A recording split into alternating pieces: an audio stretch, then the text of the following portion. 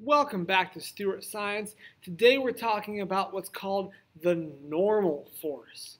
Now the normal force is a force caused by a surface. And so I have a little model here of what a surface might look like. When I push on the surface, you can see that the molecules kind of get a little bit closer, they bend a little bit. And so even though you can't see it, when you push on a surface, that surface bends just a little bit and causes a force back on whatever pushes on it. We call that force, that, that bending force that pushes back on something when it's caused by a surface, it's called the normal force. So for example, when I was younger, I got into a fist fight with a kid at a, at a dance, and I got really mad at him, and so rather than punch him, I punched a gym mat. And behind the gym mat was a brick wall. And so I broke my hand.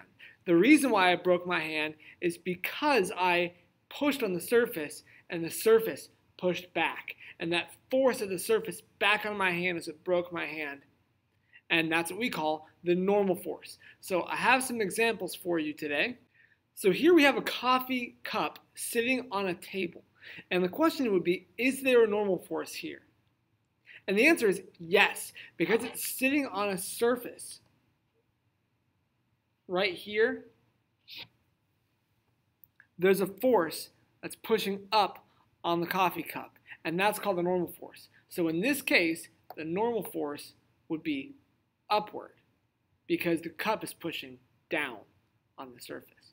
So the normal force always acts perpendicular to the surface. So whatever way you're pushing on the surface, whatever way the surface is facing, the normal force goes straight up from that surface.